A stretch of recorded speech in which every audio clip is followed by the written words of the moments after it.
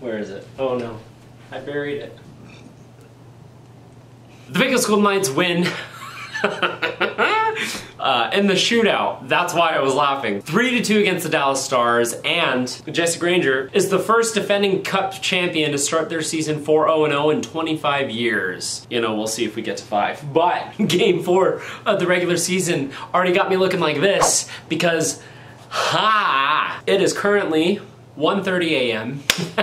it, it, felt like a playoff game. That was so intense. It was a lot of fun. And even though the Vegas Golden Knights trailed for most of this game, it felt like at least. They had most of the good chances. Let, let's get into it. Goalie battle. Adin Hill fantastic. Otter, fantastic. Not great for us, but in the regular season, he's been like extremely good. I, I, I don't know what else to say. Uh, another thing from the first period, a bunch of awful misses. I'm a theme of the game awful misses, wide open nets, shots going wide the entire game. Uh, in, in this first period, it was Michael Amadio with just, just the widest open net miss. I'd like to say that I would have scored there, but instead, really, the reality of that is Michael Amadio made me feel seen as a hockey player. No, I was like, yeah, no, that, that sounds about right. You make a mia, so Amadio. And in the back of your mind, you're like, okay, Vegas loses this, then that, that's there, that's there. Second period, Benn versus Hague oh, like, I guess battle of the four teams, but I was not expecting this fight, and Benn looked like he went after Hague,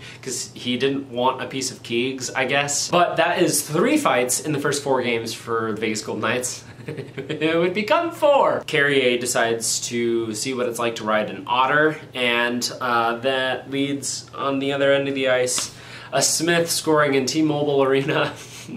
Craig Smith, no relation, I think, makes it 1 0 for Dallas, and it was just a really good play from him from Dallas in general. Honestly, like the plays this entire game from both sides were really, really good. It, it, like these are two of the best teams in the league, and I see them as being the top of the West. There was a, an extremely questionable call on Paul Cotter, which I wouldn't normally be talking about because because refs, you know, all of that stuff, you know. But however, there was a two on one for Vegas going in front of that play. It looked like he just finished a check. It was the puck was still there because he just played it. Instead of the two on one for Vegas, there was a power play for Dallas, which Vegas kills. Vegas has been killing penalties super well all season, dating back to the series against Dallas in the conference finals last year. But it's just grievous, grieve, grievous? General Kenobi!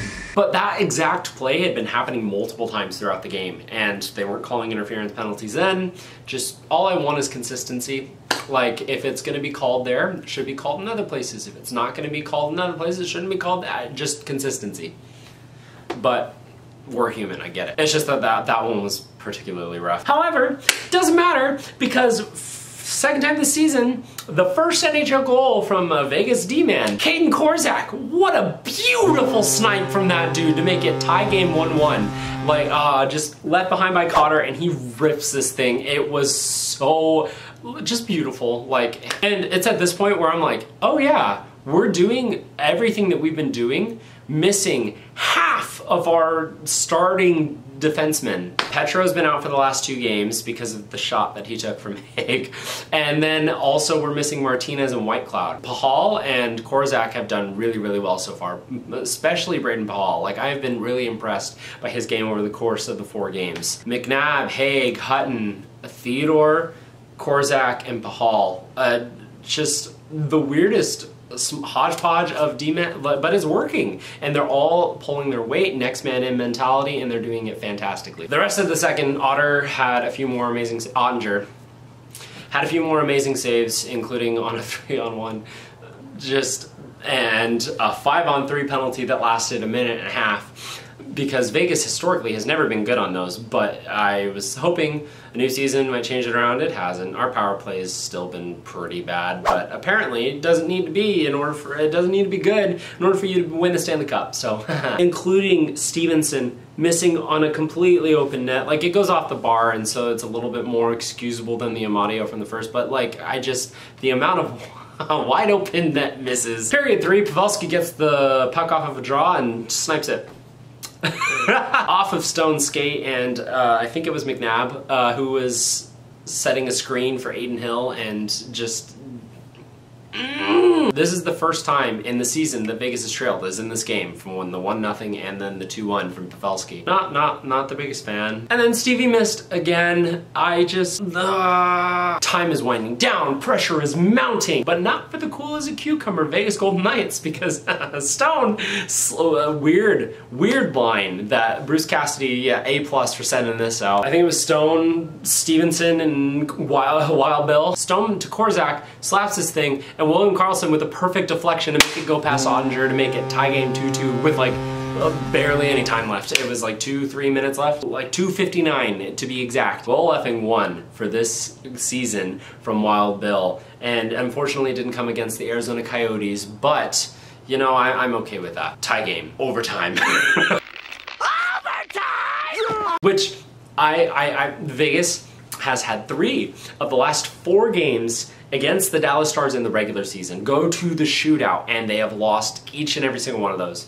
The one from two years ago was a huge game in deciding whether or not we were going to make the playoffs, uh, and because they were the other team getting in over us. But and so I'm thinking, all right, overtime has got to be it. And uh, there were uh, good chances for both sides. Adin Hill and Oettinger both made spectacular saves in overtime. And I love goalies, so this was like great hockey. I love it. The three on three in general is just fan- like I, it's fun. It's thrilling. I'm then feeling this way in Game Four of the regular season. It was just a bunch of up and down craziness from Eichel with the two on one with Theo. Theo sent it a little bit too far into Otter instead of the open net. But and then Eichel was completely gassed, but it's okay because it led to the face-off. Theo made this incredible save several times defensive stops just back checking and making sure he was there to disrupt the play and Wyatt Johnston. Marshy with an opportunity where he kept like waiting to see like oh is is, is Robert is, is Robo gonna come with me? And he did. And he made a really really good defensive stop Robertson did. So that was really good. I love that player. And then Theo again with a poke check and eventually we just go to the shootout. I'm like oh okay so 3-0 1 is not bad you know no losses in regulation. First round Eichel just try to outweight Otter too long, doesn't able isn't able to. Otter makes a save. He can't squeak it through that little little space that there were, there was. Robertson, the other way, and it's off the pipe uh, and out. So it's you know tied going into the second round. Theodore skates up and he pulls a different move, and it was really really fun. And he nets it, so it's yay Vegas scores in the shootout. And then Duchene just immediately comes and just slides this in five hole. It was a, it was a good shot. Hill I don't think was ready for it. And so we're going in around three. Marshy streams up and I can just, uh, it goes in and he snipes it and in. And I just hear in the back of my head the MVP, MVP. Roope Hintz fantastic goal scorer for the Dallas Stars. He's coming in the other way. I'm like, yeah, of course, this is gonna go seven rounds. That's a typical Vegas Golden Knights shootout, right? Hintz, go off the post and out. And like Hill had to do a double take to make sure it didn't go in. And yes, the Vegas Golden Knights win in the shootout against the Dallas Stars. It is not a fever dream, it is reality. Just a really fun game. And we got to have it in game four the regular season after the Western Conference final. I didn't feel like we were gonna win this eh, before this game. I don't know why I felt that way. It wasn't because I didn't have have hope. I just was it felt like that kind of a day for me. Toilet flooded, AC broke, had to worry about all, but it, we're fixed, it's good. At least we don't have people out there trying to just break people's necks. It's progress from there.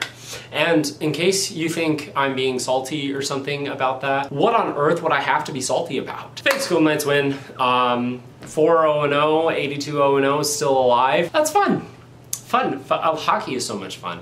And I am only going to feel like I regret this decision tomorrow when I have to wake up. Honestly, Dallas Stars are one of my favorite teams to watch in the West because uh, they're kind of like Vegas in some of the ways, uh, with them being a hard-hitting team, knows how to forecheck really well. Their offense and their goalie situation is pretty good, and it's I love several players on the Jason Robertson, Miro Heiskanen, and Oettinger.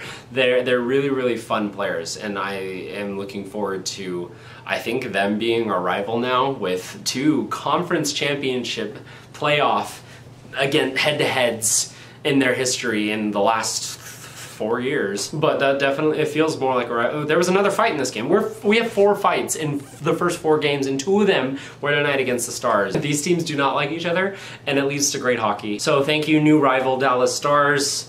Uh, maybe the Sharks, when they used a star in their profile picture on their actual Twitter feed last season, jumping on the bandwagon of another NHL team, which makes complete sense. Maybe they passed that baton on to you guys because, I mean, be honest, outside of that one series from 2019, not really anything going on in a rivalry sense against the Sharks. Anyways, it's going to be it for Game 4's nightly review. Thank you so much for watching and have a good night.